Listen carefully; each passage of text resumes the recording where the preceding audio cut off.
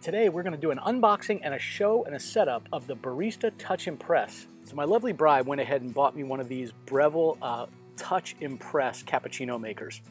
This is a rather automated cappuccino machine, fairly sophisticated. Uh, and what I thought I would do is I'm going to do an unboxing today. I'll show you how you set it up. And I won't post these videos for several weeks and or even a month or two until I have sort of learned how this thing works and can show you some of the pros and cons in a, over a two or three video series. So I'm starting with the complete unboxing of this. So for those of you that watch this channel a lot, you almost know I always have a cup of coffee sitting here next to me or even a Starbucks cup. I do have a Starbucks habit and um, thought, you know what, I really kind of wanted to get into making cappuccinos and maybe flat whites and some of these things, but a barista I am not. And Breville has just come out with this newest machine, which sort of uh, automates a lot of the skill that a barista typically brings to the table. Now, I probably won't have all of the flexibility of a barista with a you know $10,000 machine, but this machine is, um, I guess it all depends on where you're coming from. It's reasonable compared to a commercial cappuccino machine like you'd see at your local coffee shop, uh, but this thing's still about $1,500, so they're not inexpensive. Every once in a while you can see them as cheap as 900 uh, but I'll, uh, I'll put a couple links to where, where you can get them directly on Amazon and I'd say watch for them to be on sale. Uh, I would also suggest that you watch for sellers where the seller is actually Amazon and not a third party. I ran into a bit of an issue. Uh, first one I ordered I received just some junk electronic parts um, for $1,000. So ended up getting a credit on it, but it was uh, a little bit hairy there for a minute. So let me go ahead and unbox this and we'll show you how to set it up the first time and next video will be how to make coffee. All right, so first things first, we're gonna go ahead and open this guy up. Boxing is pretty darn nice too. And I actually watched how they suggest you open this. I'm gonna pull the parts right out of the lid here. What it suggested we do is tip this on its side.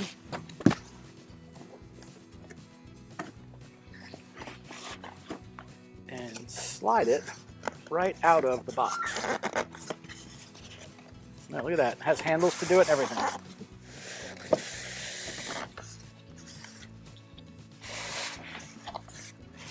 All right. The accessories are tucked in everywhere, so we're going to make sure we don't have any that we need to pull out of here.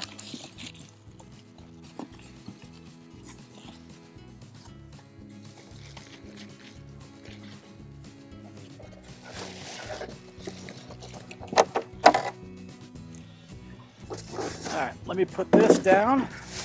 All of our plastic off of here. I'm going to continue by removing all of the uh, packing tape that's on here. I will say one of the nice things about this is there's a little um, QR code on the top. You scan it with your app, with your phone, and it brings up a step-by-step -step set of instructions and video for how to set up every single part of this. Now I watched that a few times, make sure I'm getting all of this right. And the first step here really is just removing all of the packing material and getting it um, sort of established so we can begin to set it up. Twist that to lock it.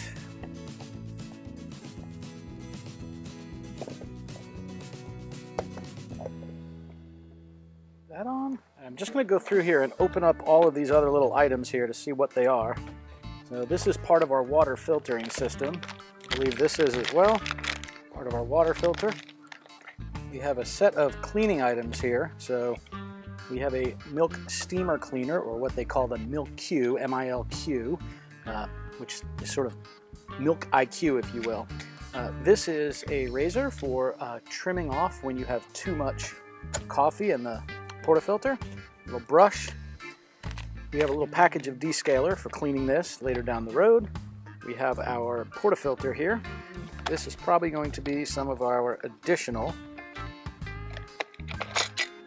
yep, our additional cups. So these are our single wall, and these are our dual wall ones. So there's a dual wall in here, and this is a, for a double shot. This is for a single shot. Then we have these single walled ones here. I'm going to use a, um, a single wall filter because I have very freshly ground coffee. This little accessory is right in here.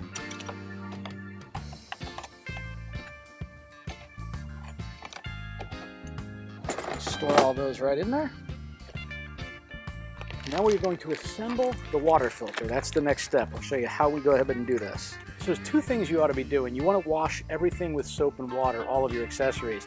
Before I do that, I'm going to go ahead and get this soaking. So this is my water filter, and it has this neat little dial gauge on the top. You want to replace this about every 90 days, every three months. So I'm going to set this for three months from today. So I'm just going to, so I'm putting this in and not quite the first of the year yet. So it's going in in month one, out in month three. Got that listed. And now we just want to soak this in cold water for about five minutes. All right, while this has been soaking in this cold water, I went ahead and washed everything up. The little milk pitcher, the portafilter, the uh, little baskets, uh, the whole bit, right? So all we're gonna do now is we're gonna take out our water filter.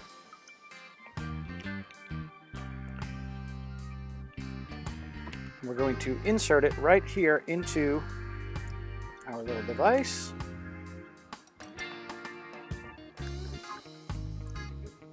Push that on there, and then this goes right on here. And now we're going to insert it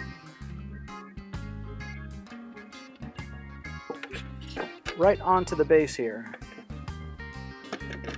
And this nice and easy, lining it up, and then just push down until it seals. There's a little O-ring in there. And now we're gonna go ahead and fill this up with cold water. Okay. We've got this thing below the max line. We wanna make sure we do that. And now I'm just gonna go ahead and pick it right up here and slide it right down these bars on the back until it sets in there. And then just close the lid. And you can see the water tank is full and it has the filter right behind the Breville symbol there. Now the next thing we're going to do is we are going to go ahead and put our beans in here. Now I've already locked this in place so I know my, um, my coffee basket's in good shape. Now, there's two ways you can do this. You can either use freshly roasted beans, which is obviously the best choice, and you want to use them within 5 days to 45 days or so. If you don't have a roasted on date or know when they were roasted, then you want to make sure that you do a slightly different setup. And I'll let you watch your instructions with that, but that's when you're going to use your dual walled filter baskets as opposed to your single walled uh, baskets. So I'm going to open this up. Uh, I found this neat little place right down here in Fort Myers, uh, Florida, where they actually roast the coffee right there. So this was roasted two days ago, um, which is pretty cool. All right, and now we're just going to go ahead and add our beans right to the top of our hopper here. All right, put our lid on. All right, so it's now going to be time to power it up. I'm going to go ahead and pull off this protective sheet that was over the screen, and then we are going to hit the power button to turn it on. I don't know if you can hear this. I hear it humming just a little bit here. I think that was just putting the water down into the heating element so that it is not dry when we actually go to brew. So now that we've powered it up, I'm going to zoom into the screen and we'll kind of go through the rest of the setup steps so you can see exactly what it is that it's going to ask you to do. Right. So I'm going to hit English. I'm going to do Fahrenheit. My default milk will be dairy milk. And time to set the time, it is actually December 31st of 2023, but you'll see this later than that. And now I'm going to follow the steps here as I go. So accessory checklist, wash and install parts, and prime the machine. Yep, we've unpacked everything. We've soaked the filter. We've installed our coffee hopper. We put our storage down below. We've rinsed everything off. We added the water filter. We filled the tank. We did our water test, our water hardness test. And I am now going to go ahead and select my, so I'm going to select right there on my three. So I'm going to definitely use the water filter, that's good. So I'm going to uh, place my milk pitcher right underneath my group head. And I'm going to tap start to prime the hot water spout. You can see everything is uh, running through. Some came out the hot water spout, some heated up the portafilter, and some heated up the milk wand says you have successfully set up your machine. Let's brew some coffee. It gives me a, a tutorial here, so let's go ahead and go through this. Uh, you'll need fresh whole beans in about 10 minutes. We can certainly do that. So it's showing me I have my grind dial right over here. I have my tamp lever. Portafilter and cradle goes here. My water spout, group head, and steam wand. That makes sense. You need freshly roasted beans, a clean coffee cup, a clean cloth, and milk. I can navigate by swiping left or right. I can select a drink. I'm just going to choose an espresso here. So hot coffee needs a hot cup. It says place this under the water spout, which I'll do. And I can tap the water button to start the water. There you go. You can see it's filling up that cup with hot water. I'll go ahead and continue here. I'm going to tell us about the type of beans we're using to get the best results. So this is roasted within 30 days. I am using a single wall two cup basket for stronger coffee. I'm going to leave my grinder at its current setting, which is 15, just using the grind dial on the left hand side. So let's go ahead and adjust this. I'm going to go to 15. There we go. And I'm choosing my dual size here. Dump out that water. And now it's telling me to go ahead and put my portafilter right in here and ready to start the grinding. Grinding, I'm just going to go ahead and touch that button. Starts the grinding away. You can hear it for sure.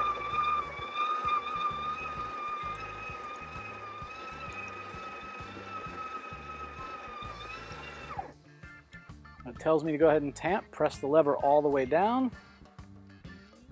It says it's a very low tamp, tap the portafilter image to add more. Ready to tamp again. It's still low. It's kind of neat. It automatically adjusts how many beans are needed.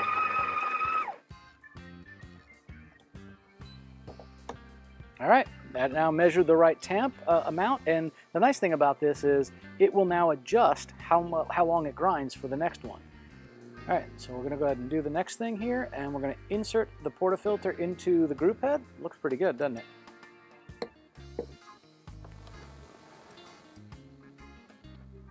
Tap the image to start.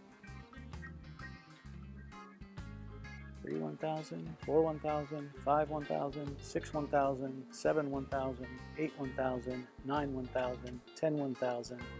So they say you should see it between 7 and 12 seconds. And it's certainly looking good. All right, it says it was too fast so this is that intelligent brewing. It says that pour might taste watery. Do you prefer your coffee this way? So I can take this out and give it a try.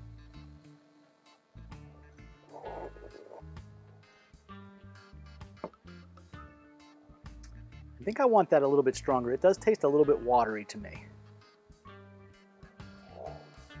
So I'm going to say we're going to try again here. 15. I think I'm going to go up to about 16 or 17. Try it right there at 17. We'll see how this does.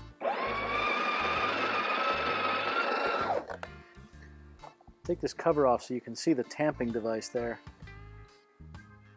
Still a little low, add a little bit more.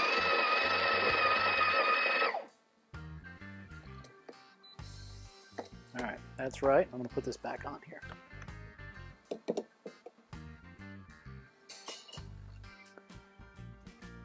And we'll go ahead and brew.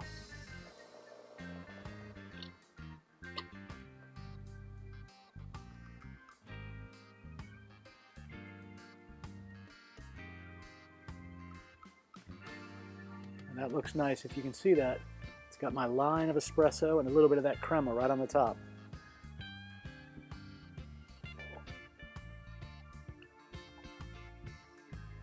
I like this. All right, so I've now uh, tuned the machine in. I'll probably play with this a little bit more. I'll do a few different drinks, cappuccinos, flat whites, just to try it out. And uh, I will come back after I get all that figured out. I'll show you some instructions on how to do it, and I'll tell you what I learned as I go through it. You certainly don't want to watch me bumble along as I do this, but it is certainly um, important to tune these things in, and I'd love to share with you what I learn as I go through the process so that you don't make those same mistakes. You we'll do ourselves a quick Americano. I wouldn't mind having one. Now we'll choose Americano. I'm to adjust our coffee just a little bit here.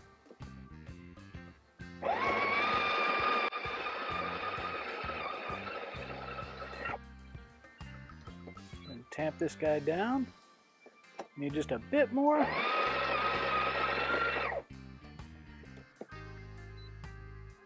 Perfect. That tamp looks nice.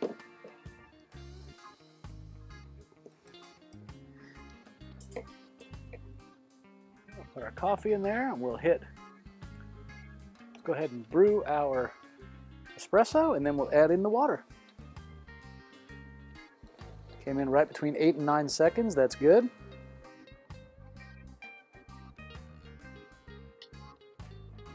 Nice, and then we'll go ahead and do the water. You can see it's pouring it right in there, and this is gonna be for a classic Americano. It's amazing how fast this heats up that water. It's just shocking that it goes that quick. I hope I chose the right size. I don't want to overflow the cup. Whew, that's close. And there, our classic Americano.